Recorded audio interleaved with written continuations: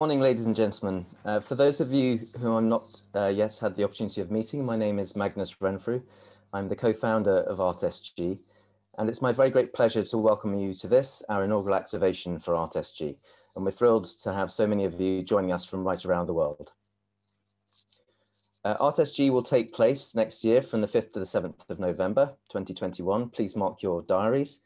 And we're delighted that UBS has come on board for the long term as founding and lead partner for ArtSG. And we're also excited that we're already experiencing exceptional interest from leading galleries from around the world. We look set to have a fantastic lineup.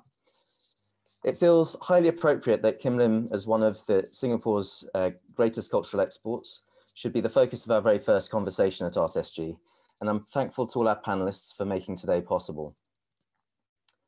Kim Lim's display at Tate Britain, which runs through to early April 2021, is a delight. And it was the first, first exhibition I had the opportunity to see since the first lockdown in March. It's great that Kim's work is increasingly receiving the attention that it deserves. Uh, and we're thrilled that we're able to help share this exhibition with you. Um, we felt that this was an exhibition that you should all have the opportunity to experience despite the travel restrictions.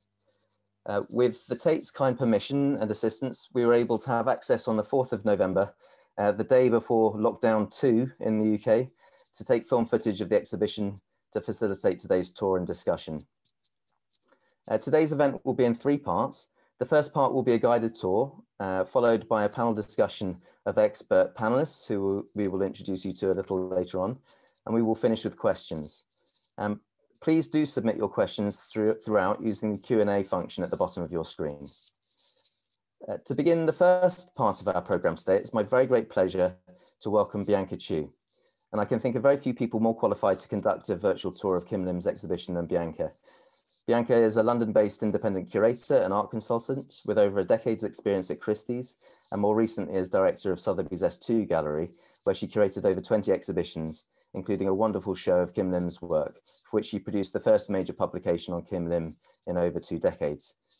Bianca serves as Special Projects Advisor and representative for the Kim Lim Estate and as co-chair of the Tate Young Patrons Council. So as you can see, you're in very good hands. Bianca, over to you.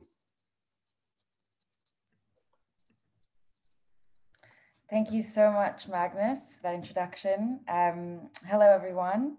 Uh, I'm delighted to be speaking to all of you today and at the wonderful turnout for our digital event uh, with Art SG. Looks like we have over 100 participants at the moment.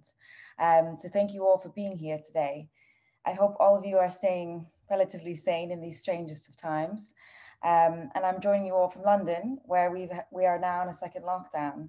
But nevertheless, it's wonderful to have the opportunity to speak with you all, uh, no doubt signing in from all different time zones and locations across the globe. Um, before we begin the talk properly, I thought I would just say um, a few introductory remarks uh, about Kim Lim. I know that many of you on this Zoom uh, will be familiar with her. Uh, however, for those of you joining who aren't familiar with her work, um, we thought a brief biographical introduction uh, might be useful to contextualize her practice. Uh, so Kim Lim was a British Singaporean artist. She was born in 1936 in Singapore and passed away in 1997 in London. Lim traveled to London in 1954 with the sole aim of studying art and becoming an artist. She enrolled first at St. Martin's, where she studied under Anthony Caro, and then in 1956 at the Slade to pursue her interest in sculpture and printmaking. In 1960, she married another artist, William Turnbull, and settled in London permanently. Her first solo exhibition in London was in 1966 at Axiom Gallery, and from there she went on to exhibit widely in the UK and in Singapore, uh, as well as abroad. In, uh, from the 1959 period to the 70s period, uh, her practice can be characterized quite broadly here uh, by her work with wood, fiberglass, bronze, brass, and sculpture, uh, and a rich experimentation developed alongside in printmaking, um, which I'll be getting to uh, in the tour. In the 1970s, she was a very present force in the British art scene.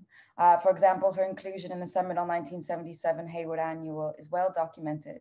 And then uh, she was part of the all-female selection committee uh, for the annual the following year. In 1979, Lim had her first major mid-career survey at the Roundhouse in London, which incidentally was also the year she began working in stone and marble, uh, materials which would become primary uh, for her in her practice until her death. Um, the last major institutional exhibition in London of Lim's work ultimately became a posthumous show, um, and that was in 1999 at the Camden Art Centre. It's now over 20 years since this event, which takes us on to our tour of the Tate Britain today and the spotlight display, uh, Kim Lim Carving and Printing. Uh, so I'm gonna share my screen now and stop the video, so just give me a few moments.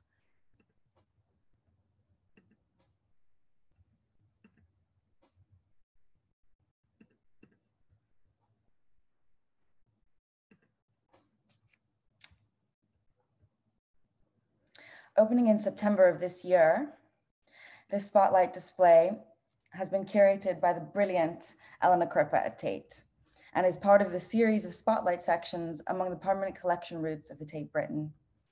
It is on until March of next year, so with some luck, so hopefully some of you will have the chance to visit in real life. In speaking with Elena, she envisioned this display to have two sections. The first period dated between 1958 and 1960, and the second between 1969 and 1974, with a particular focus on printmaking and its dialogue with Lim sculpting practice. The works you're going to see now are a combination of works in the Tate collection and loans from the estate. And I thought it would make the most sense to visit the exhibition in the way that Eleanor had sought to present the work as she wasn't able to join us today. In highlighting the two modes of Lim's practice, it becomes apparent that she viewed these twin aspects of her work as equal. The subtitle carving and printing at first seems to suggest two different actions or modes of working. But I would suggest that they are in fact synonymous with each other. Often in her printmaking process, an action such as carving or fluting or chiseling, which are normally associated with sculptural or three-dimensional processes, are in fact present in her printmaking process. In walking around the exhibition, it becomes easy to become aware that her two-dimensional practice and informed and was constructive of her three-dimensional work and vice versa. Um, so here you're getting the first wall of the of the uh, of the exhibition display here. Um, I actually sort of I wanted to start the tour with um, an archival shot, which you're going to see momentarily, um, where you see this a studio shot here um, of uh, Kim's studio. Um, here you actually see the, the print Sphinx in the background and uh, King, Queen, and Pawn, a sculpture from 59 in the foreground. I wanted you guys to get an idea of what it was like for the for these, for these works and objects to be living together in her, in her studio space and note the formal arrangement of the sculpture. Here on the first wall of the display, we have the untitled lithograph on the left from 59, which is in fact a reference to that early sculpture you saw, King, Queen, and Pawn. And uh, here you have King, Queen, a set of bronzes from 1960. Um, the connection between uh, printing and sculpting is particularly palpable here looking at Sphinx, the sculpture you have in front of you. The sculpture from 59 and Sphinx, the lithograph from 1960, which you saw on the studio wall. Here, the sculpture actually predates the print, which is an interest, which is really interesting because often we assume that a print operates in a more preparatory way. This is a great example because it really drives home that from as early as 59 and 60, Lim was exploring the potentiality of a process that combines both methods. With so much time on our hands these days in, in lockdown, as I was preparing this tour, I was thinking a lot about time and about temporal ranges in general. And it became apparent to me that Lim operated uh, in various temporal ranges, which relates to her lifelong interest in the concept of rhythm. Here you have Sphinx, the, the lithograph. The actual act of printmaking, as Johnny and Alex have told me before, often required the pulling of a press, a relatively quick but tough movement. And there's sort of an immediacy in that mode of production. Comparatively, ca carving sculpture is a laborious process. It requires a different tempo, pace, physical output. In Lim's case, she never had any studio assistants, often leaning on her sons, Alex and Johnny, as she needed an extra pair of hands. By the time she was working in the marble stone sculptures, the process was lengthy, often taking months to complete one work. I often think of her work in that sense as truly meditative and that there's a suspension of time. On this next wall here, you're seeing first, um, right here, the untitled and split red lithographs, a set, and then here a set of lithographs called Bridge One and Two, and then a chess piece, which I will get to later on, from all from 1960. In the bridge prints, Lim seems to be moving more decidedly into formal arrangements, we have a sequential leaning of black forms, suspended in midair, balancing, yet also seemingly weightless and dense at the same time. This feeling of rhythm, like the bars on a musical score, is still present. yet they're expanded in the space, demarcating the space of the forms themselves and the space around them, or the negative space. And I'll kind of discuss negative space a bit more uh, in the next wall. Um, and it becomes, because they become even more apparent really in, in the intervals and ladder series. Before that, I would like to go to Chess Piece, um, which is one of my favorite works in the exhibition. Um, here we go. I mentioned the early 1959 lithograph that refers to king, queen, and pawn, another wood sculpture that we looked at in the studio shot. We also have the small bronzes king and queen, and here we have the first explicit reference to the game of chess.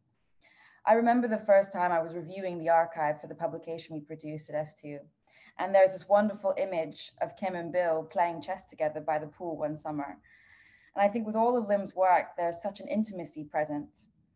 Um, and here it feels like her art has been directly drawn from her life. Whilst at the same time, she has this way with form that touches on the ubiquitous, the universal, and the everyday. The pattern sequences of the game in some way echoes Lim's own artistic concerns, and the elements of chess would be motifs that reoccur and are expressed and revisited throughout her lifetime.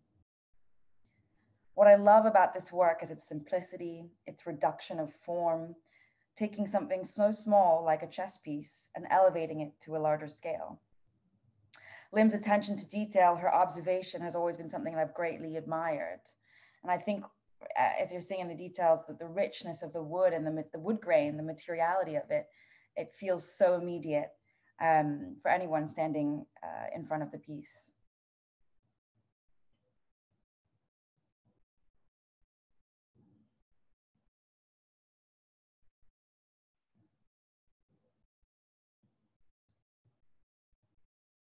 On this penultimate wall of the display, we're looking at first a series of prints from 1972 entitled Ladders, which is on the left, um, and Ladders 2 on the right, and the sculpture series Intervals 1 and 2 from 1973.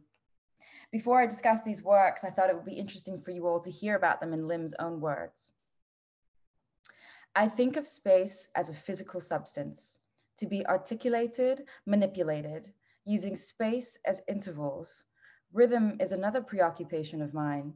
The physicality of the feeling of rhythm makes it very sculptural for me. Light reflecting surfaces and throwing shadows. Um, so here you're seeing a very nice comparison of the sculpture intervals here, as well as the ladders two series from 1972. And you're actually seeing the forms of intervals to the sculpture in the print form here. And the view you've just seen of the sculpture is in fact two sculptures combined, as I mentioned.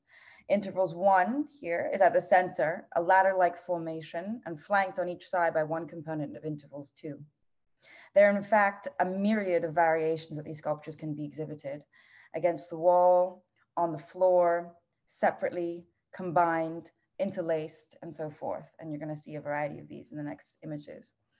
What I love about the way it is shown here at the Tate is in this presentation is its totality, made up of three components. And most importantly, the manner in which the light hits the work as it leans against the wall, casting beautiful shadows in every interval in the negative space. From an art historical perspective, there have been connections made between developments occurring in America at the time, such as minimalism, uh, with Lim's work when discussing particularly these, these pieces. There's indeed a minimalistic quality to Lim's works, particularly of the 70s period, but as far as we know, Lim was not influenced really by American minimalists. She wasn't really in contact with them. Her and her husband were, of course, aware of what was happening in the US, um, but their generation was more closely aligned to those of the abstract expressionists, who the minimalists were in some ways reacting against. Bill even had exchanges with Mark Rothko and Barnett Newman. So I think it would be a little bit misguided to link Lim's work to this period with currents in American minimalism. Her visual language, rather, is developing from her own personal experience and cultural diversity, as well as her art education in Britain. In fact, intervals for me is not so much about a concreteness or a lack of expression that characterizes some of the um, works associated with that term minimalism, but the very opposite. It's about the space in between, the invisible, the shifting, and more so, there's a strong sense of evocation and emotion despite the aesthetically reduced forms. Traditional Chinese painting, for example, the negative space or blank space was viewed as as important a mark or gesture as the positive space of the landscape delineated by ink. The white so-called negative spaces of these paintings may refer to the sky or fields or large a river, and they perform atmospherically. And I would suggest that Lim sculptures perform in a very similar way in hinting at a feeling. This is particularly apparent in the later stoneworks, which she takes on a more phenomenological approach to her sculpture, and which we'll be discussing uh, in the panel later on. So to diverge for a few moments away from this particular room at the Tate and to transport you back to 1977, intervals one and two were also exhibited at the Hayward Annual that I mentioned early on in the introduction. This is an interesting case study simply because of what it can reveal to us today about Lim's position in her time. I listened to a wonderful lecture last week by Ming Tiampo in a conference, Slade London Asia, hosted by the Paul Mellon Center and convened by Hammad, who will be joining us on the panel later, which discussed Lim's unique positionality as inside and outside in relation to the British art establishment. Um, this is coming from new research around the sort of decolonization of capital M modernism. And there are, in fact, many transnational narratives that intersect and are woven into the story of modernism. And this was very much the case uh, for Kim Lim. She was inhabiting from within the British establishment to some sense to be included in the 77 annual alongside only men in the show, as you can see from this invitation, but also situated outside due to her background and gender as a foreigner and a woman.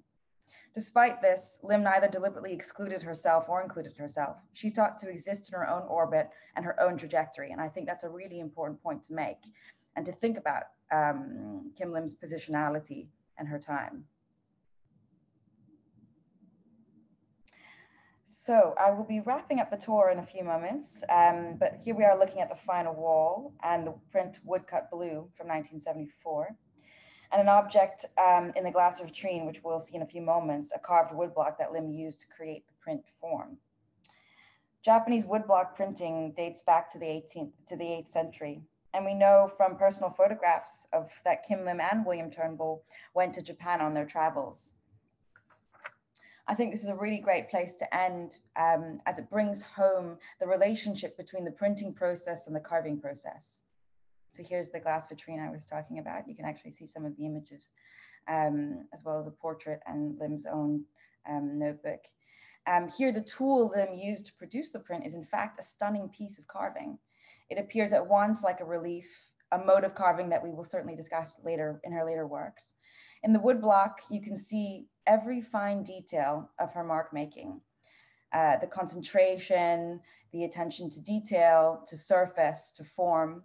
It's also worth mentioning that the two-dimensional form of woodcut blue would eventually inspire a sculpture itself. I love this detail shot, um, entitled Stack from 1976, um, which I'll show you an image of and currently in the collection of M Plus in Hong Kong. Um, stack is a three-part wood sculpture in which each component is stacked one above the other to create this illusion of balancing, rectangular planks of wood. Here we're able to see the beautiful multi-layered, even circular process of how the formal concepts and compositions of Lim's practice are thought through and engendered in physical form how they are built up by the tools of her process, and in this case, a, a carved woodblock, in which the woodblock itself is sculpture-like, created through an act of reduction or removing of material on a flat surface. And finally, the two-dimensional print that informed or produced through the carving of the woodblock, then informing the three-dimensional sculpture you're looking at right now. This image of Stack at 1976 was taken at um, in Kim and Bill's home in, in Camden Square. So I will finish the tour here and hope that I've managed to do justice to Elena's beautiful display. And hopefully the concept of carving and printing in relation to Kim's practice has expanded for you to demonstrate the unity and the mutability of her process, which is I, I conceive as a wholeness. Uh, thank you all for your time. And I hope you enjoyed the tour. Um, I'll be handing over now back to Magnus and please just a reminder to post any questions that you have in the Q&A tab at the bottom of your Zoom. Thank you so much. Well, thank you very much, Bianca, for this very thoughtful tour. It really was excellent to be so expertly led around the display. And we have questions already coming in, though we'll uh, reserve those until after our panel discussion.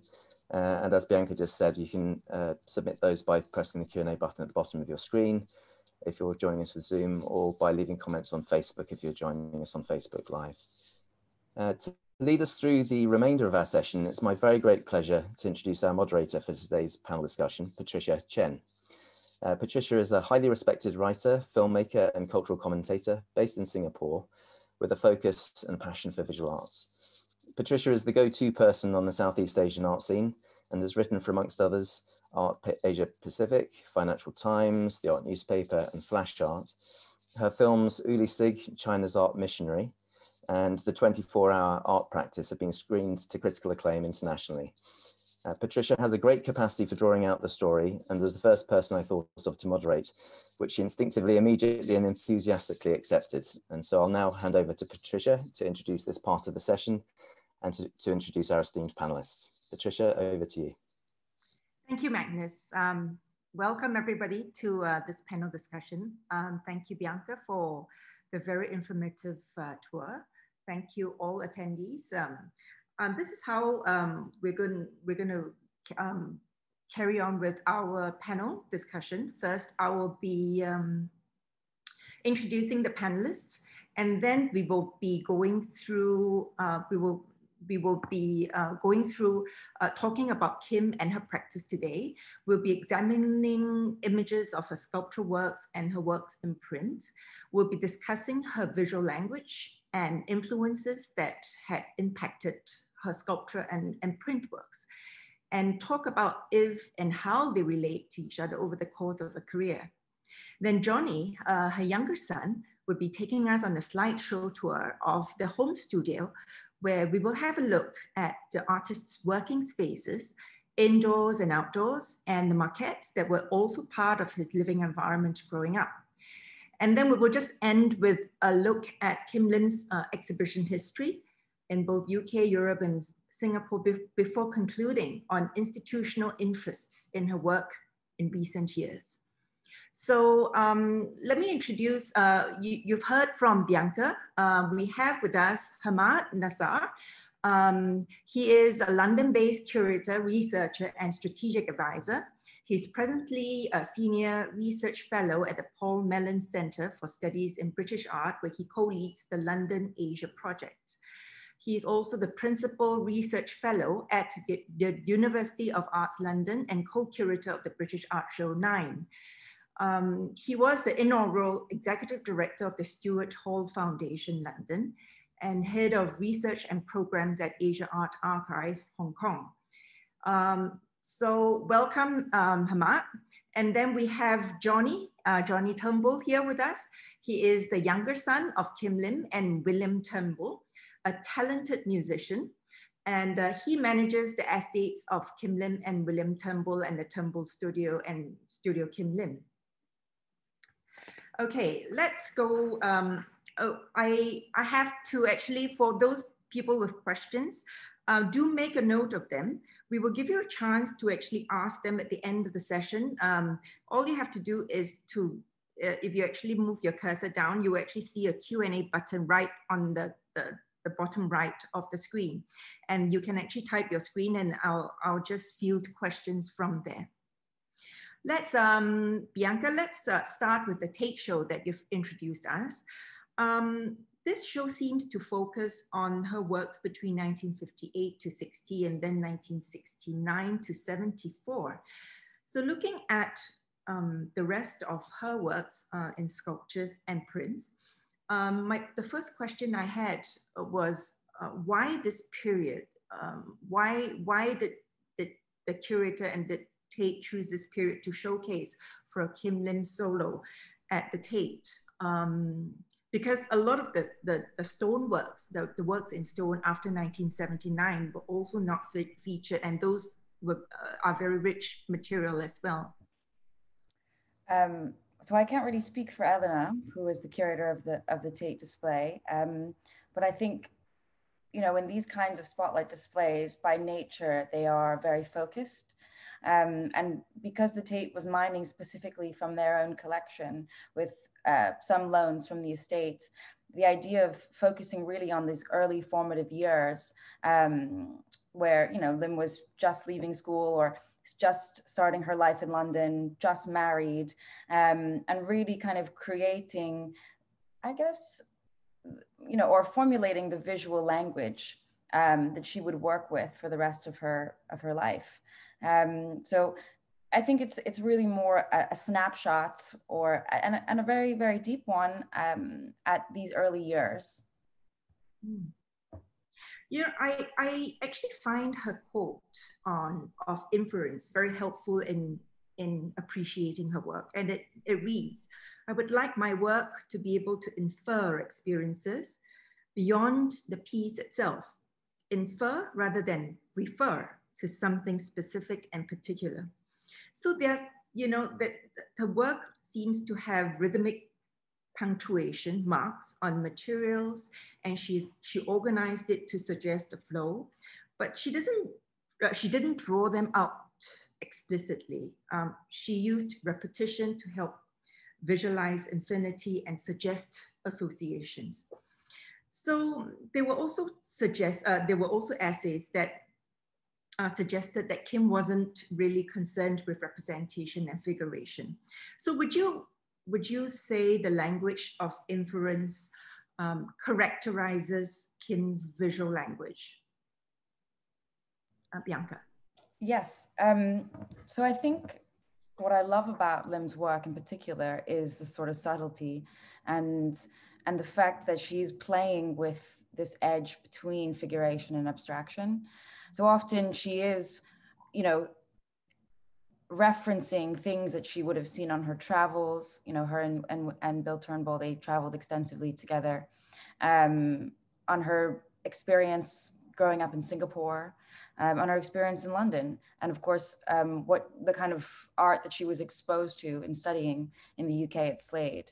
Um, and I think that there's just this wonderful ability to draw out form and um, shape, composition from things that are actually drawn from real life. Um, so there is, yes, there's absolutely this wonderful subtle suggestion um, and hinting at things, which I think is what allows her work to be so um, well so seductive in some ways because it it sort of plays with meaning. It it, it invites the viewer to interpret things from their pers perspective.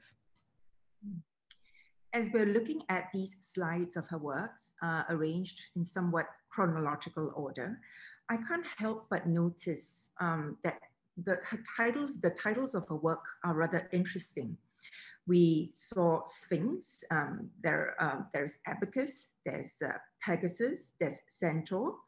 And then I saw names like Samurai and Ronin.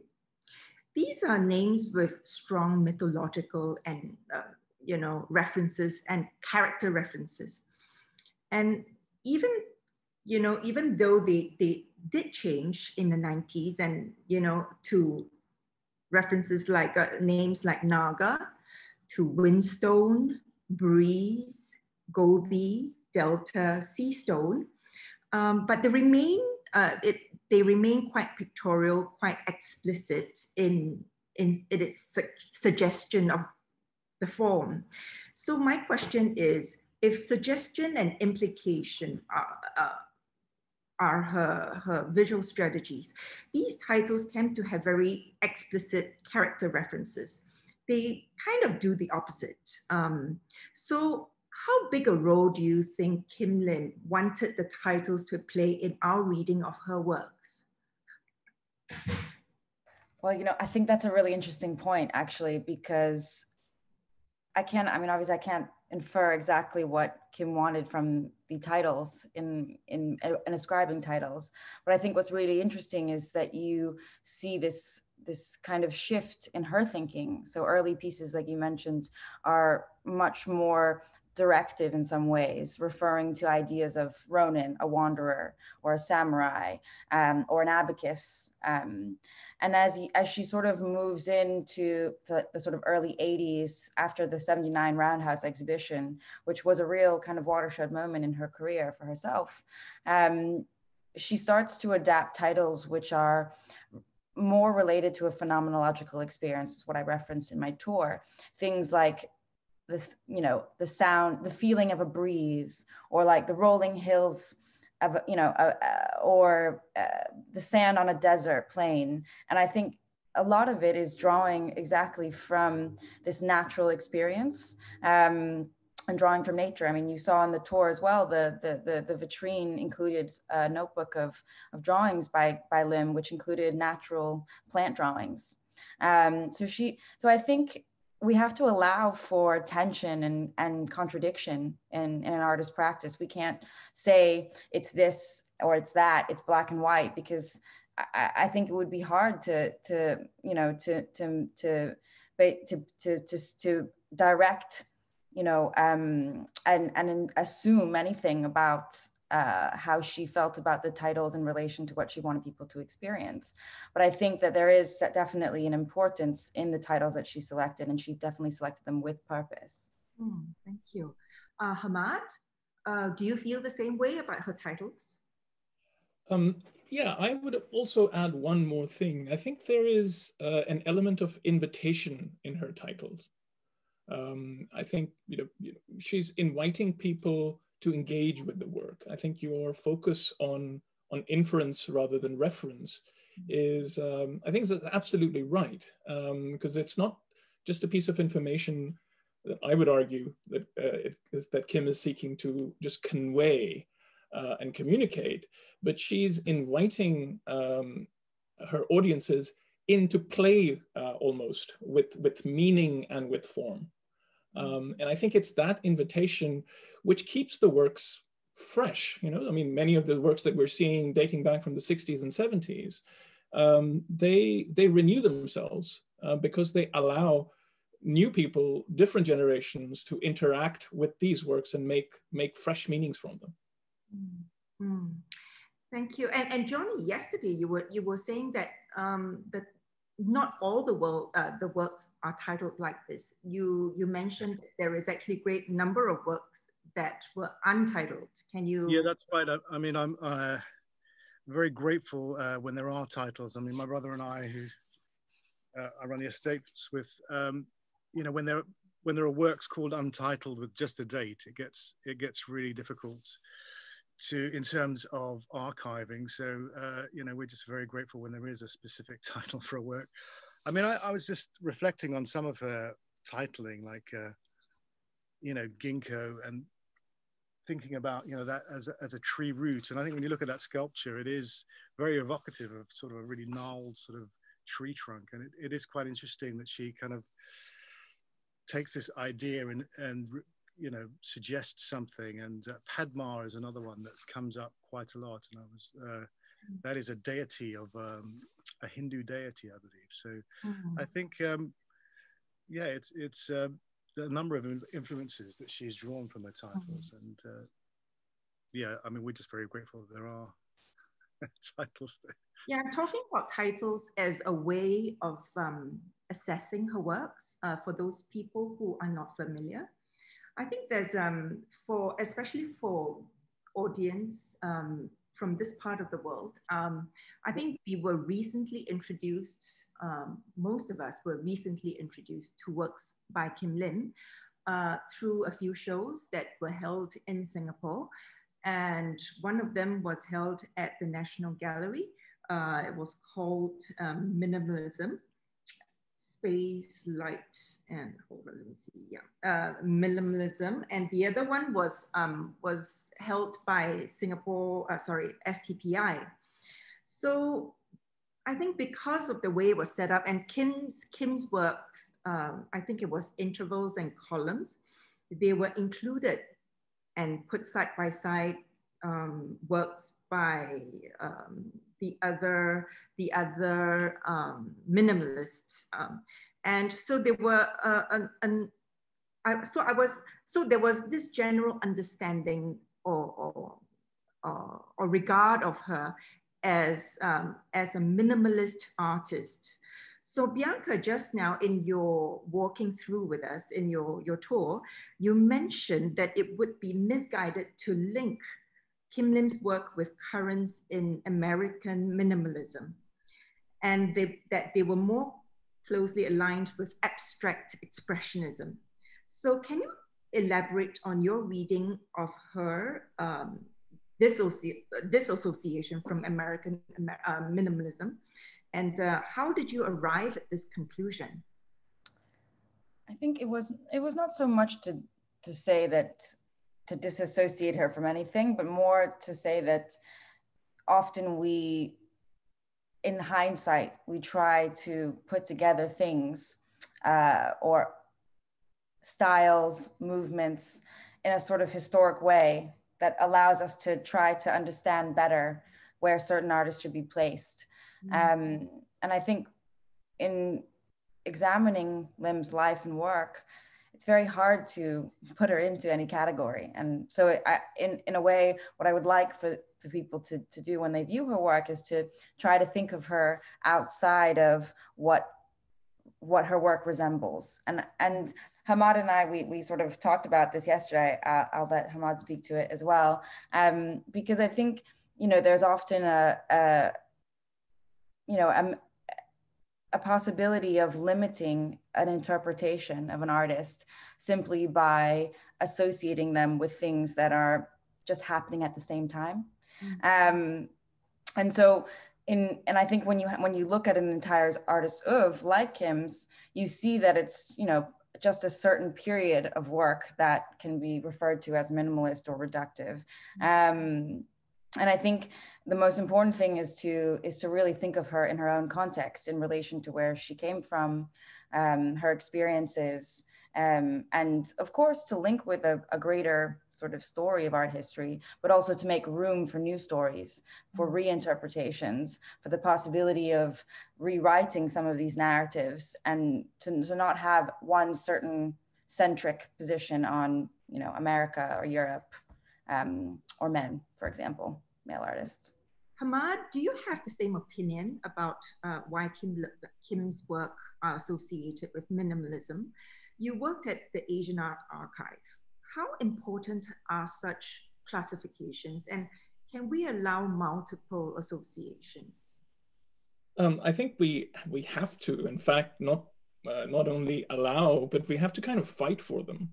Mm. Um, and and we were talking uh, yesterday, I think, um, when you raised this question around minimalism when we were, were planning for this. Um, and I think Kim Lim's oeuvre and her treatment and and this sort of um, affinity, let's call it, reminded me of another artist, um, a woman um, born in India, Zarina Hashmi, known uh, primarily as, um, as Zarina, who died the, earlier this year in New York, um, and and in the later stages of her life had had um, had reached uh, considerable sort of acclaim and was being collected all uh, all around the world. And in a recent text on her, I sort of um, assessed the situation as assimilation by resemblance.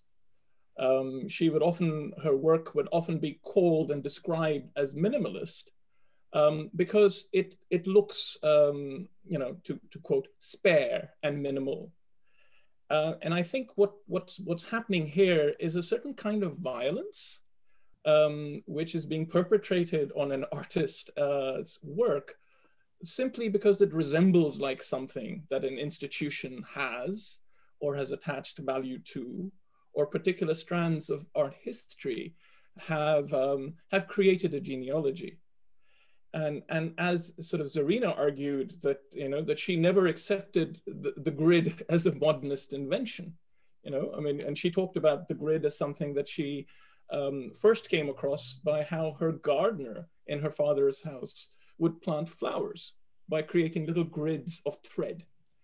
Um, and in that, you know, in that vein, and just looking at Kim's journey as to her interest in architecture, in spaces, in uh, in the physicality of place, I think there's something else that's going on here, which happens to just kind of rhyme with ideas of Western and particularly American minimalism, but are coming from a different place. And if anything, ask questions of minimalism, um, perhaps seek to expand it, overturn it, or, or uh, and ideally, this is, I think, what um, practices like Kim and, and Zarina's do, is invite us to step into new worlds um, and to and to really develop the, a language that is adequate to describe them. I guess with um, Zarina, uh, her her um, roots, I would say. It's, it's clearer. I think her references are clearer, I would say, because she uh, specifically talk about Urdu and um, some of her personal stories, and that she and, and that is integrated into her form and her art. Whereas in Kim Lim's work, they tend to be um, she she sort of left it open. She left um, she left the forms open for interpretation.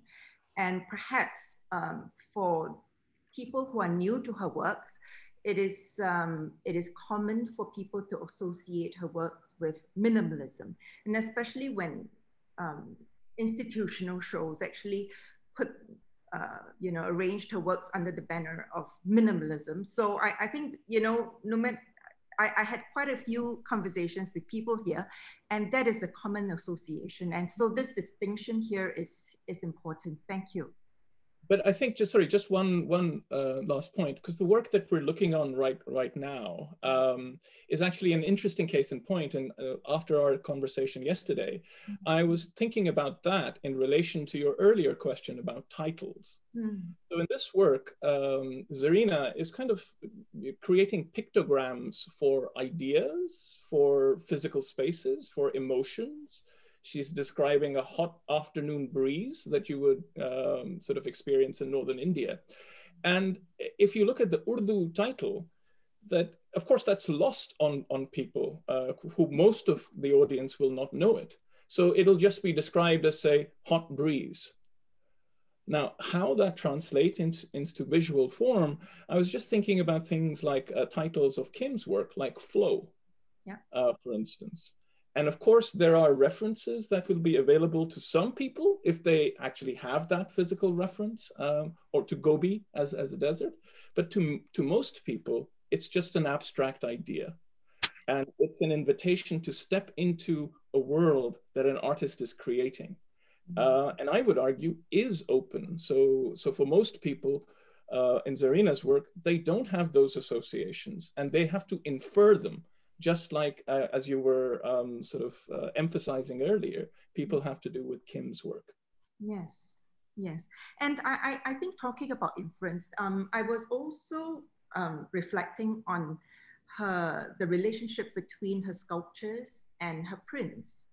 Uh, let's just look back on some of the works here, the same um, screen.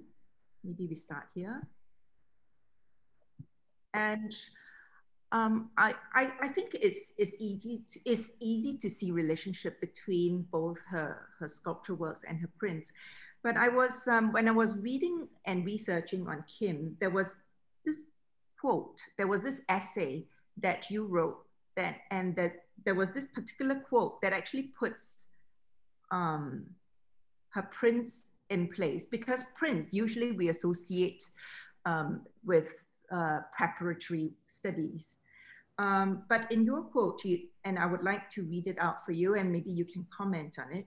You said that I would like to suggest a reading of prints as not merely as um, not merely as preparatory sketches, but as musical scores that Lim performs in her future sculptures, often producing, as we have seen above, multiple versions of the same work each sculptural work, like a musical performance, allows for variation in play, but shares a rhythm and a design or intention towards the passing of space and time. So would you like to elaborate about, you know, um, this particular relationship well, I um, I sort of uh, when I first started working, um, I, I, curated two exhibitions uh, pretty close to each other um, with Kim's work, and in both exhibitions I showed both sculptures and prints.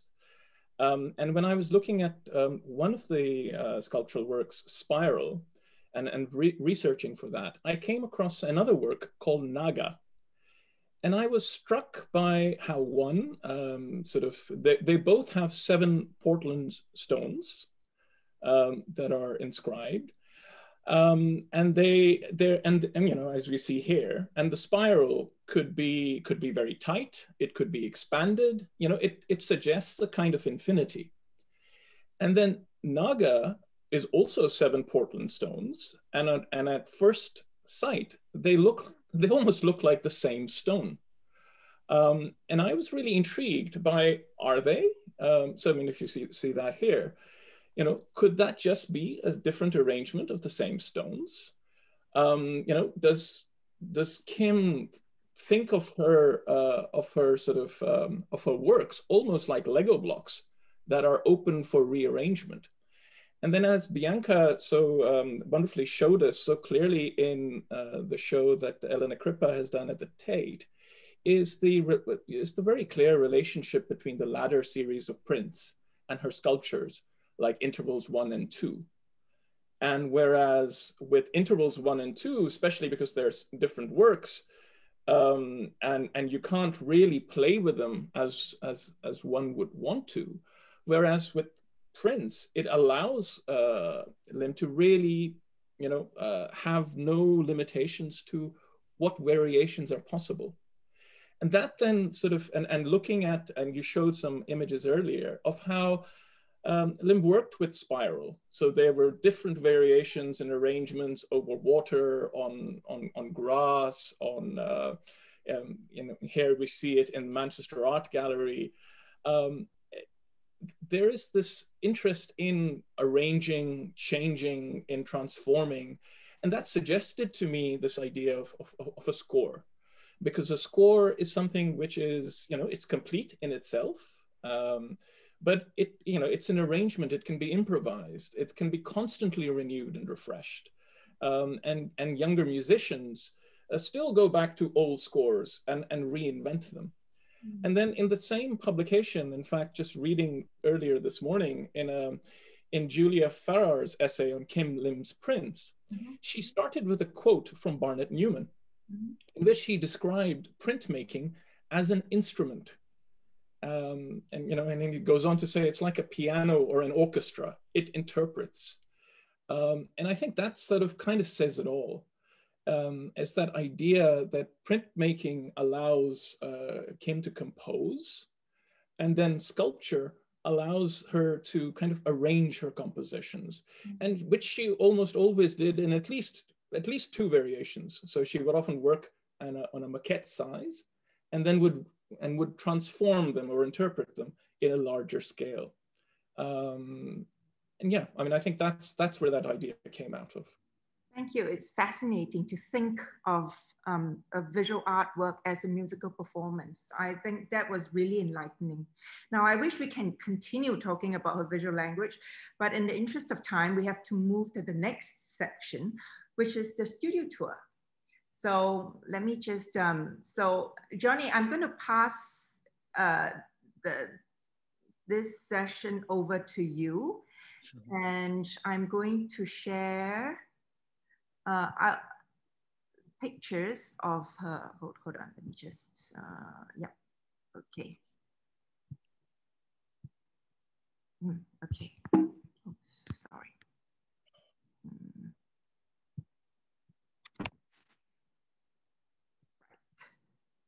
Let's look at her studio. Can you give us a bit of context of the space when uh, when she moved in and how how long she stayed for? Did she work? Well, I can't really comment about you know uh, when she moved in because that was bef before my time. But certainly, you know, in terms of this shot, uh, these two shots, if we can just pause there. I mean, um, you can see in the background. I think that's Trace under construction in front of the window. So she uh, the, the she had a studio uh, in the right hand side of the house that was uh, it was a lower ground floor, uh, double length. And um, on the left-hand side, you can see um, a desk, which has, I think if you move back to the other shots, you can see a lot clearer the, um, the maquettes that are on the desk there. So yeah, yeah, go back. Sorry. Yeah. so here we see, you know, this was a kind of a, a, mood wall that she would have with with photographs for sort of inspiration and uh, just ideas. And then you have a lot of these beautiful maquettes, which uh, I think you can see Kuda in the in the front there and uh, Ginkgo on the left. And you know, what I think what's incredible is is when you look at the the scale and the detail of the maquettes and she was able to you know translate that into a, a, much larger sculpture. And, and then she did all this herself you know with no assistance other than you know alex and i helping her out occasionally. But you know carving these um, incredible huge chunks of stone with just a chisel and a, and a hammer and upscaling them from these from these sort of tiny designs which is where i would imagine that the the, the shape would come from um, so we have this section, you know, on, on, the left, which is, is the maquettes there. And then this fantastic array of tools on this pin board. Uh, and you can see a hard hat there, which she would wear sometimes. And there was all sorts of, I mean, going in there as a child, it was, it was fascinating to kind of, uh, you know, just, it was like a treasure trove of, of, of all kinds of things. And uh, she had all the tools hanging up there, various hammers, chisels, uh, drills, um, files, all these kind of things. And then uh, if you move to the other shot, the right hand side shows, you know, a workbench with um, paint, uh, some paints and a blowtorch. And um, in the middle section, at one point she had a, a printing press. Uh, when my brother and I, this is this is a this is an earlier shot, so this would have been uh, when I was very young, um, in the early '60s. You can see the um, works under construction that she made in that period. You can see the uh, bridge print in the back. So that's table unprimed, and it's very interesting to see this in a raw wood form. And you can see the chess piece in the background and Borneo and this whole series of sculptures that she made uh, in, in, the 60s, which are, are incredibly colorful and playful, which is uh, an interesting contrast, I think, to um, also, yeah, you can see the blowtorch in the background and this wonderful column, which is in Australia. And I think, you know, she must have scorched the wood for that. Uh, this is a Borneo and Table and Minerva. And, and these uh, are a blue centaur in the background there. So yeah, these are these are sculptures from the 60s, which are very, very colorful and playful, which are, which are wonderful. Um, but yeah, it was, it, it was, a fascinating place, you know. Did Alex and you help her, and what kind of work? We, we did. I mean, we were we were kind of uh, we were less allowed into my my dad's uh, working space, and also he had a workspace that was away from the house. But uh, my mom was always working in the house, and uh, we would ink help her ink the etching plates um, and help turn. She had uh, two printing presses, one which had a great big uh, spoked wheel, which probably took two of us to turn. And we, you know, and then she had a flywheel press later on. So we were, yeah, we'd be in there inking up the plates, and she would, uh, she taught us how to etch as well. So we have a few of our own etchings from that period, which I still got somewhere. And also, in she, uh, I forgot to mention yesterday, you know, she had a dark room as well. She was a very talented and keen photographer, and we would often help her in the dark room, drying prints, uh, soaking the prints, taking them out of the developer, and changing the, um, you know, into one of these uh, metal tubs and that kind of thing. So it, it, was a very interesting place to grow up. I mean, when I got into skateboarding, uh, she actually made my first skateboard for me out of wood, and later a, a, a metal one out of this material we found that was like a step from a, a, a double-decker bus. So it, it was uh, it was a very interesting place to grow up. And um, she had a space in the garden as well through the double doors that you can see in some of the shots. There's, I think, um, there's a shot of Spiral which shows the outside space where she would work. And um, you know, I think a, a lot of the yeah, so this is the area where a lot of her works uh, the, the, the later stoneworks would have been, the larger ones would have been created in this space. There's a there was a gantry to the left which you can't see, which she would sort of wheel across and you know use to lift and manipulate the the largest. And this is a a sculpture Alex and I used to hide in when we were kids. We used it like a little fort, so we had a lot of fun with that one. Um, but um, these are some of her maquettes but yeah, I mean, she would be working at, at home out the back. And uh, in my teens, you know, I'd come and visit. And you could hear this chipping away around the side of the house and she'd be there in a boiler suit and a headscarf and a mask. No matter what the weather you know out there this is kuda in the front you can see there you know uh, making the mark on these uh, phenomenal bits of stone. I, I, think it's it's interesting when you think about making a mark when you relate it to her printmaking because if you look at the, the, the process of etching and scribing i think there's there's there's a, a great uh, similarity with the process of etching the stone and sort of making the marks on these uh, stones. Obviously, it's a lot more of a um, investment of time, the sculpture. But what was very interesting as well is we discovered some drawings recently, which were pen drawings for studies of the etching. So, I mean, it, it just, her sort of method and dedication and you know it's just incredible i think the amount of work that she put in. I mean if I, have practiced martial arts for many many years and you know in comparison i, mean, I mean she would be on a grandmaster status for sure. I mean i think you know, hands on. You know Absolutely. I, I have lots of questions for you but um as we, we need to just move along um i i just and and we have some um participants here, attendees who are from Singapore as well. In her private conversations with you, has she uh, related about uh, her connections with Singapore? Yeah, I mean, definitely. I, it was a uh, very much part of our life and culture. Singapore, growing up, we would go uh, every year during the summer for the entire summer break, and uh, it was it was a magical place to visit as a child. And uh, I think in terms of as a base for travel and visual influence.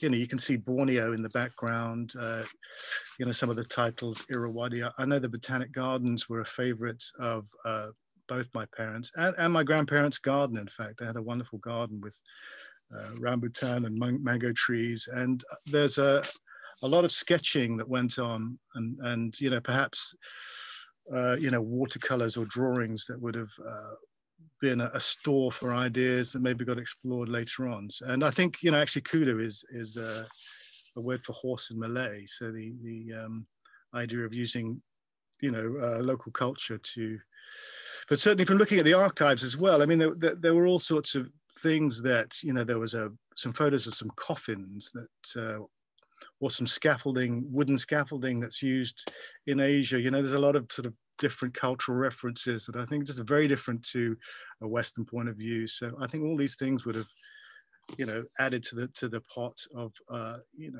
uh, inspiration that they would have both of my parents would have drawn from. Uh, so yeah, Singapore was a very um, constant throughout our life for sure. Yeah, I was just looking at her exhibition histories.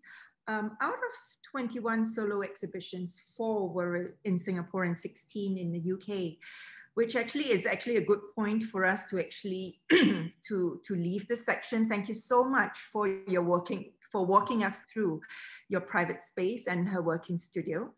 Um, I'd like to talk about um, her exhibition history. Um, there was this particular quote um, that uh, that I saw um, about her being female and foreign and how she said being female and foreign was never pro a problem as a student. Later, um, I realized that there was a difference, but what was important in the end was what I did and not where I came from. Race and gender were givens I worked from. Perhaps the work does reflect this, which is fine, but I did not want them um, want to make them an issue. So would any one of you be able to share the context of how that quote may have come about? How, and what, what I'm curious about is how being female and foreign and taking such a position, um, whether it affected her place um, in the art scene um, well, I can say a few things. I think Kamal and I, we actually both touch upon this a little bit in the podcast uh, yeah. that came out, uh, I think it was last year now, uh, Sculpting Lives by Sarah Turner and Jo Baring. Um, and I, I, actually read this quote because I think it's particularly enlightening to, in terms of trying to understand from Kim's perspective, you know, how she viewed herself. And I think it's a really important thing to know that she didn't necessarily focus on this idea of uh, of being female and foreign is something that defined her practice. Um, and I think that's a really important point to make that for her, being an artist was being an artist. She was also a mother, she was also a wife. You know, there was no kind of, there was a blurring of all these things for her, and it wasn't necessarily um, something that she wanted people to um, necessarily latch onto in describing her work. Um, that being said, you know, she did, there are a few kind of moments where we sort of can intimate certain things. So for example, in 1989, she was invited to take part in Rasheed Araeen's exhibition, The Other Story at the Hayward, um, which she declined. Um, and, and I think it was more uh, because she didn't necessarily in, agree with this idea of framing herself as other. Um, and you know we can we can interpret that in a variety of, of, of, ways but i think from her perspective and in the light of in the context of this quote um, i think it was important for her to be perceived as as an artist and not necessarily as fitting into a category that would be classified as other mm. So looking at her exhibition history can you actually I, I i know that you've briefly mentioned some of her major shows can you walk us through, again, with the list in front of us, um, which would be, uh, which you would consider to be important?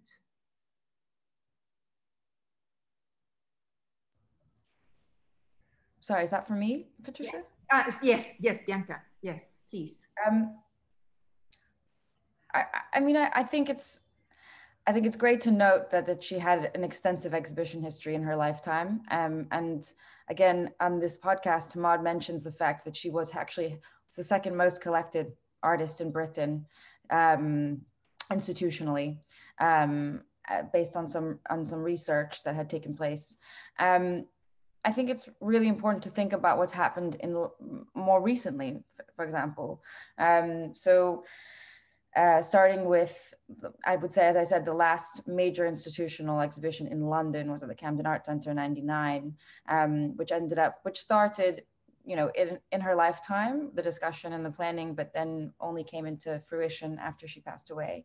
Mm-hmm. Um, but since then, there had been, you know, shows at New Roche Court, which was obviously a very, a, a, an important exhibition, bringing her sculpture um, to back in 20 that was in 2014 um, there's obviously been a number of exhibitions at singapore national gallery. As of lately group shows. There was two shows we did at s2 um, one show focusing on um, early 70s works very uh, a small focus group and then a second larger exhibition focusing on stone and marble pieces.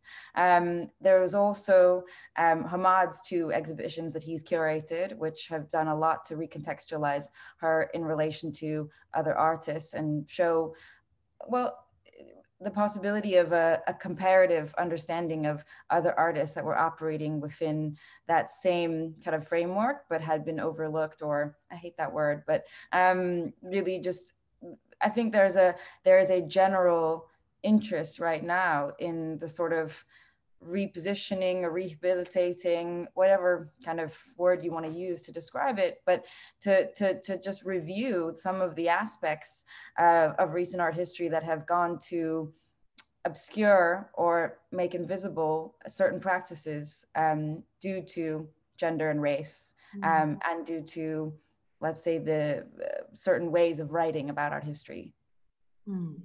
Uh, if, I could add, if I could add a couple of things to that, I think um, it, it's very clear um, as to how uh, uh, Kim Lim wanted to position herself, but I'm not sure that the art establishment kind of, you know, got the memo. Um, so, so, um, so while and and um, I sort of my interaction with Kim Lim's work really started with when I did a little project while I was still in Hong Kong at Asia Archive, um, creating a little digital archive for Rasheed Araeen's um, The Other Story exhibition. And, and then in a, in a paper at an Association of Art Historians conference in the UK, I argued that that exhibition, which was a kind of a polemical intervention in the history of, uh, of British art and modernism, um, to, to, to argue, uh, it's called The Other Story, and it was to argue for a space for artists from Africa and, and sort of Asian descent as to where, where they were. And Kim had this beautifully, uh, you know, simple, polite, uh, and the gentlest of refusals um, a letter to Rasheed saying, uh, and, and, I, and I remember the phrase, it was like, I do not want to other myself. Mm. Um, so I think that from her positioning is very clear. But having said that, and despite her presence in things like the Hayward Annual, not once but twice, mm. and her being this kind of insider outsider figure, mm. she has, if any, a really marginal role in histories of British art. Um, or histories of British sculpture, um, and, and, and so on. And in that paper with, with, uh, on the other story, I was arguing that um, what's happening is that, that that show is haunting British art history. Um, mm. And I read one particular exhibition called Migrations into British Art as an example of that haunting. Um, and what and I and I noticed one of the questions from the participants was around Kim's relationship to other artists from sort of um, uh, Asian and African descent, people like Li Yuan-chia or David Medalla or even Rasheed Araeen, uh, for example. And, and what was happening was that there were new narratives being, uh, being told and, and um, at places like the Taipei Fine Art Museum for Li Yuan-chia or the Sharjah Art Foundation um, for Rasheed Araeen and I would argue the National Gallery of Singapore with the, with the large retrospective they're planning for, uh, for Kim Lim. And I was arguing that these new narratives and these new uh, institutions are now, now going to tell a story um, that will overwrite the story of British art that has yet to be written. Mm and, and out of that then came um, actually the project uh, that Sarah Turner and I uh, co-lead at the Paul Mellon Center called London Asia, which mm-hmm. looks at the idea of this relationship between Britain and, and Asia, not as a comparative one, but as, as an entangled one, where one sort of co-constitutes the other.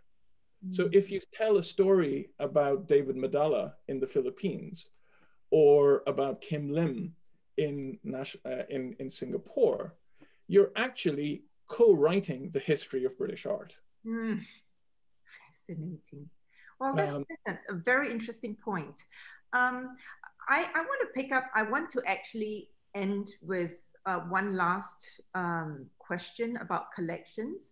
I do want to ask more about what brought about these renewed interest in Kim Lim, but I, I hope to give some time to Q&A. Maybe someone would, would ask that later, please do. Um, um, my, my last question, uh, Hammad, would be, I, I heard uh, your podcast, you sharing your, your data. Uh, I, I think you were researching on the most collected Asian artists, Asian African artists uh, um, in, in British collections, uh, collections of British institutions. And Anish Kapoor came uh, first and Kim Lim came second. Can you tell us more? Yeah, I mean, this, um, so one of the people who listened to the same paper I was describing was the artist and academic Sonia Boyce, um, who at that time was planning uh, a project called um, Black Artists and Modernism. Um, led by uh, University of the Arts London, and it was a three-year project looking at uh, looking at British collections and looking at uh, how uh, art from artists of Asian and African descent are um, have been narrated as part of the story of modernism within Britain. And as part of that exercise, um, our, colleague Anjali Dalal Clayton developed a database of, of public collections. Um, and out of that came that particular statistic um, that, you, that you described. And the first of um, the exhibitions that I curated with uh, Kim Lim's work um, was at the Manchester Art Gallery uh, called Speech Acts um, in 2018-19. And this was very much part of and in conversation with the Black Artists and Modernism project. And in this, um, I wanted to really question, um, you know, what happens to exhibitions uh, or, or to, uh, to narratives and artworks when you get them, when you remove them from their frameworks of biography and geography. So as, as Kim Lim uh, as was describing in her own words, that she wants to be sort of having conversations around what she does, not where she's from. Mm. Um, and in that exhibition, and, and you shared some images with it earlier, um, so Kim Lim came in, in, the, in the section called repetition, where it was really looking at how repetition as a motif allows us to see how forms migrate. You know, not just from geography, but also between practices. Mm -hmm. So you can see spiral alongside paintings by Bridget Riley, Anwar Jalal Shamza, or Fahrelnissa Zeid. Um, and when you flip it around, you see um, Kim Lim's, ah, there we, there we go. You see Kim Lim's prints. Um, Was this the one? And, one? No, it's the other one.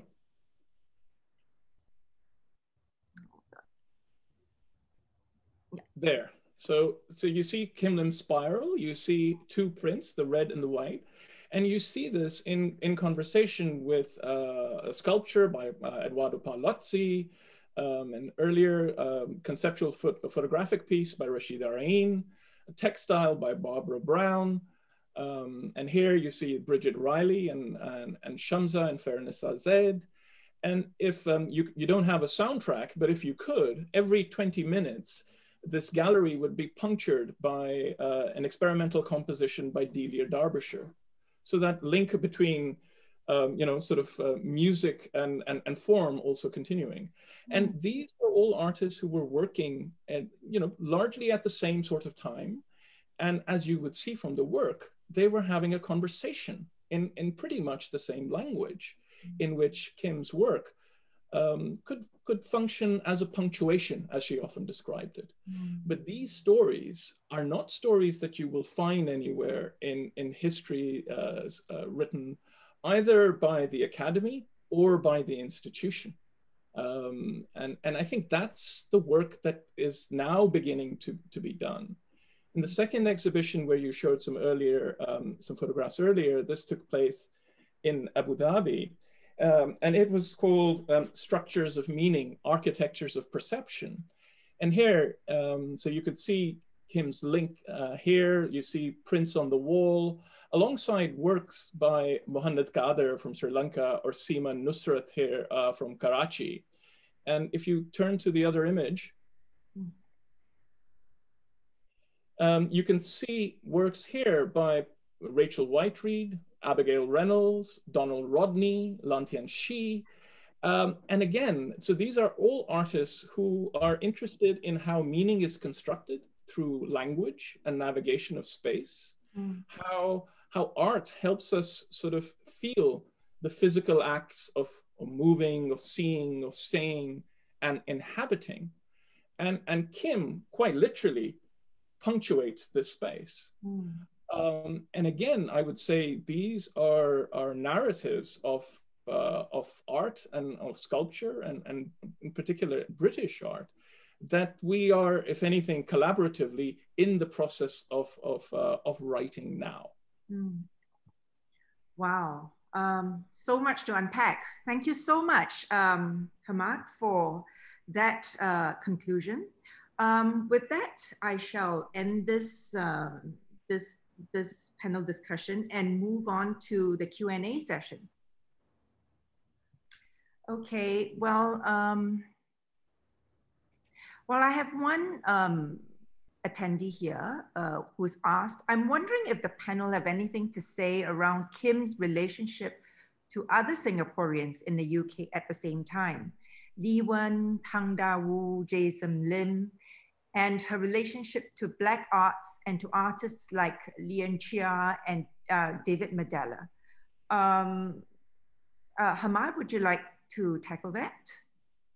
Sure. I mean, I, I think in some ways the um, the the primary focus on um, uh, on, on the sort of this group of artists um, has um, in, in recent times been through the lens of the other story, um, which as we just discussed, is something that Kim didn't feel that she wanted to put herself in conversation with. Mm. and we, I mean, respect that and understand that. But I think as, as curators and art historians, now I think it's really, um, it's required of us to look more and, and to research um, as to how those conversations happen. Yeah. So, so for, you know, at a very simple example, Li Yuan-chia um, and his idea of the cosmic point, I would see certain reflections that perhaps, and certainly some cultural associations um, that I'm sure would be shared um, with, with Kim Lim, particularly as Johnny was describing just you know her visual world and references and as you can tell from the titles that interest in in buddhism in in dao um, and and how they translate into repetition and form i, I see um, li Yuan-chia and kim lim sharing uh, mm-hmm. but those conversations and and that kind of uh, there isn't a sufficient density of that discourse uh, yet um, so i think that's where we need to do a lot more research. Hmm. Let's hope that with um, all these um, new interests coming around, um, uh, Kim Lim and her connections with different Asian artists and with um, artists in U UK, these relationships uh, would be, uh, yeah, would, would actually be researched a, a lot deeper. Um, I agree with you. I was trying to find out more about her relationship with other Singaporean artists here, and I, I haven't gotten much. Um, maybe they, they are around, but they have not been published. Um, sorry, if I could just uh, share one more anecdote. So in, um, and, and maybe we can share sort of uh, some uh, links to this material later on. But uh, in a symposium that we held at the time of Speech Act, mm young um, Singapore-born artist Nicholas T mm. um, staged a performance in the middle of, of, of, the Speech Acts exhibition. It was and it was curated by Annie Kwan, um, where he, in a way, and that was just the week after uh, Lee Wen's uh, tragic passing. Um, so he staged um, a, a, work which both referenced Lee Wen um, and then wa walked past Kim Lim as he was walking outside. Um, so, so there, there was something in there which I thought was really sort of both mm. deeply historically informed, mm. but also deeply relevant now for a completely new generation of artists mm. who are trying to situate themselves hmm. within these multiple histories hmm. uh, of Singapore, of somebody like Kim Lim. Hmm. Um, living in Britain, but really of, of the world. Yeah. And there was another uh, related question, but um, in the UK context, and it was, sorry? Mind if I just add something to Hammad's points yes, about? Yes, yes. Um, so when when I was a deputy director at S2, we actually did an exhibition of Li Yuan-chia. It was one of our first shows that we did in the program. Um, and we also did an exhibition, we co-curated Darren and I an exhibition on Signals Gallery, we restaged the gallery that existed in London between 1964 and 1966. And it was a, really a hotbed of experimentation in kinetic art in particular. Um, but it's an interesting thing to think about how these these currents were occurring simultaneously within London at that time. And Guy Brett has written quite extensively about the fact that the British art establishment made no made real no really no effort to incorporate these artists who had spent most of their time in the UK. Um, Li Yuan-chia, for example, never left the UK after coming here via Italy and Taiwan and being born in China. Um, so they have these incredible journeys and stories. And Kim, you know, coming from Singapore to, to, to London, that, you know, they, they, their, their dislocation or relocation in some ways speaks a lot to the, the atmosphere in Britain at that time, in London at that time, as actually a scene of of, of a, a truly international scene.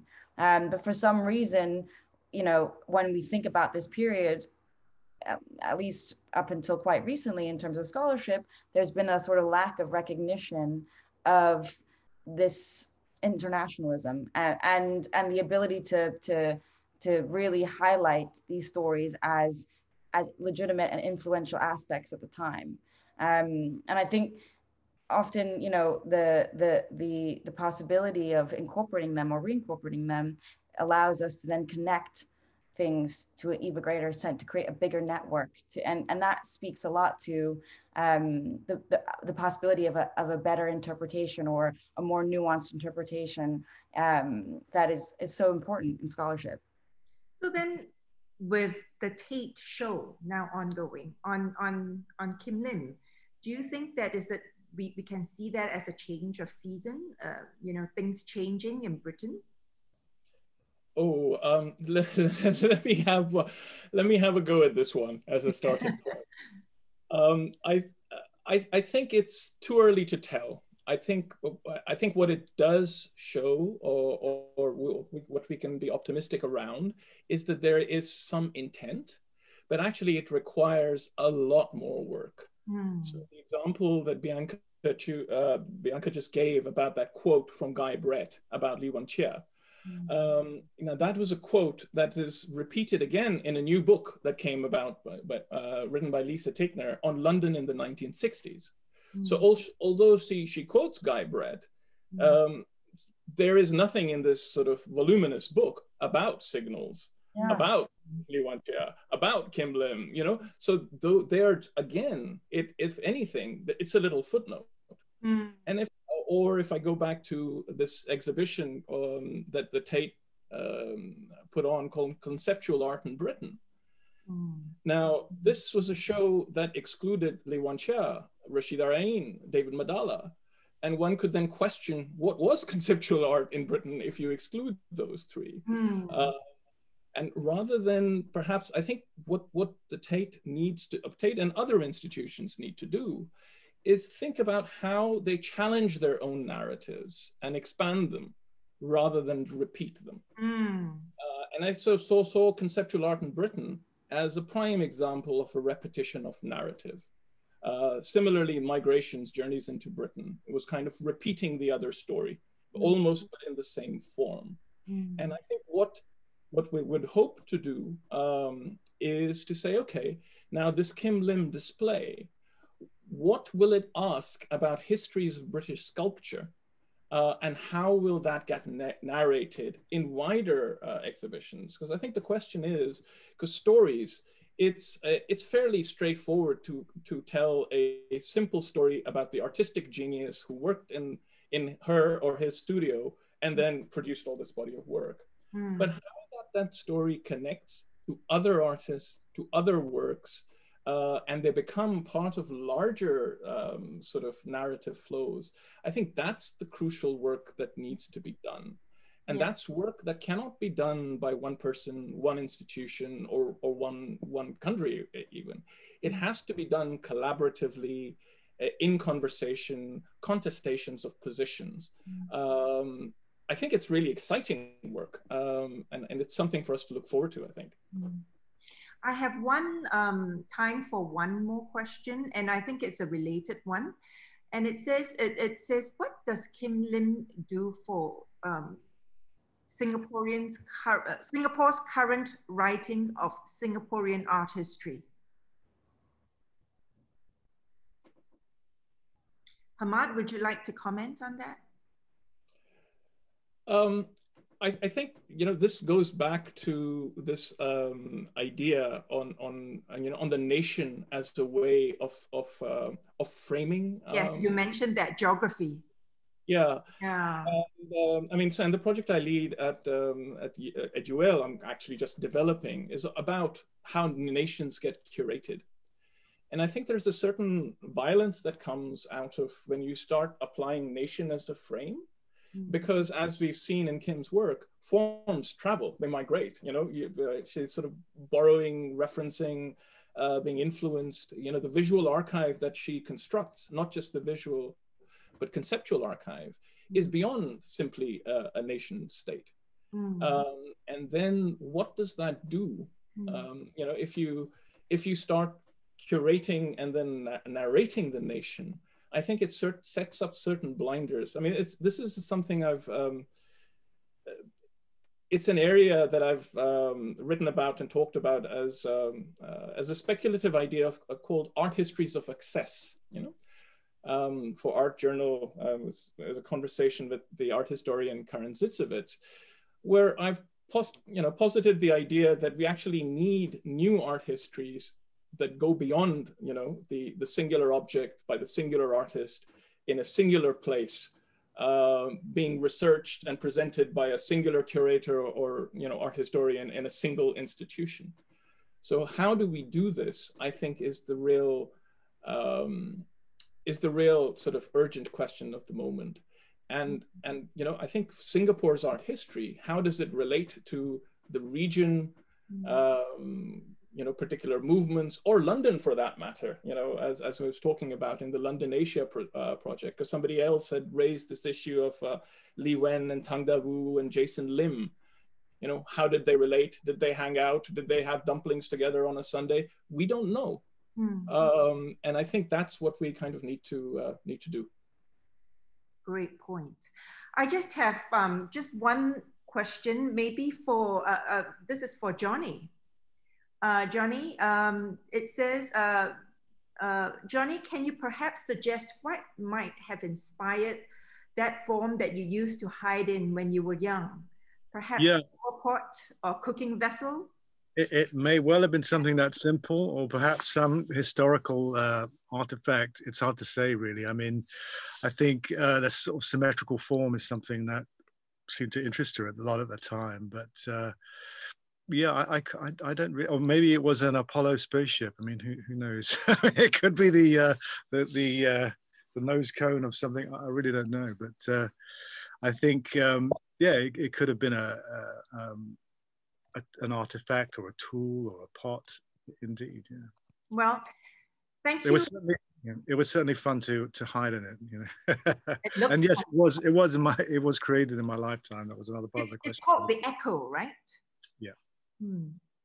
Well, uh, we have a lot more questions, um, but we just don't have time uh, to answer them. Um, they have to do with uh, whether Kim Lim was interested in the work of other sculptors like Hepworth. And then there was another that, that talked about how her work seemed very tactile, uh, very central. Do you think it invites um, people to make connections with nature, people, and materials? There's another one on whether uh, it has connection with Chinese tradition and eating. Um, and there is another one, oh, there is comment that says that she's actually quite unique because she went to London to study and not many of people, her artists in, in her generation could do that. Um, mm. so we don't have time to answer them. Um, I just want to thank everyone. Thank you panelists for all your brilliant answers to um, the questions, um, for sharing all the, the references and materials uh, for participants on this call. Uh, I've learned a lot and uh, I hope that um, with this session, everybody, when they in future look at works of Kim Lim, you have some ways of assessing and understanding and appreciating her work.